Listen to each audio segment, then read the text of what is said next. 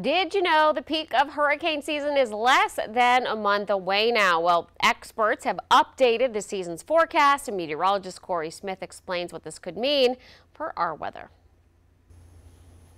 We've already seen our first hurricane of the season, but other than that, things have been really quiet here in the United States. So you might be a little bit surprised to know that NOAA actually last week increased their amount of expected storms for the rest of the hurricane season. Now expecting 6 to 11 hurricanes, 2 to 5 major hurricanes as we go throughout the next couple of months. And there's really one big reason for this, and that is ocean temperatures. Over the last four months, we've been setting global temperature records, and you can see the numbers right here.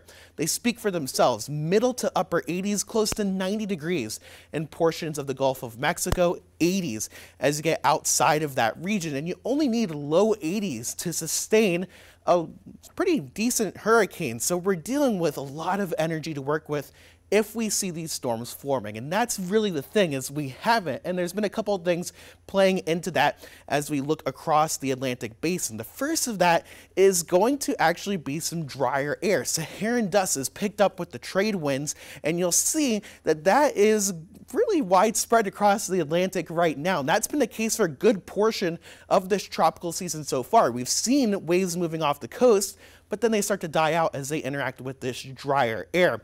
We also are in the middle of El Nino. This increases wind shear, which pretty much rips apart these storm systems. You can see that subtropical jet here in that orange arrow, and that is where we typically see higher winds during this time of the year that interacts with those tropical systems. But going forward, it looks like things could change a little bit here.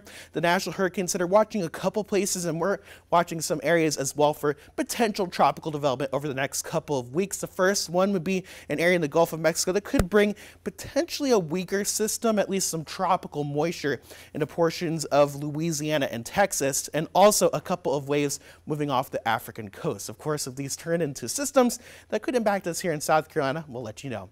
In the studio, I'm News Team Meteorologist Corey Smith. All right, thank you so much, Corey. And while there have been five storms this season in the Atlantic, there have already been seven named storms in the Pacific, with likely more on the way.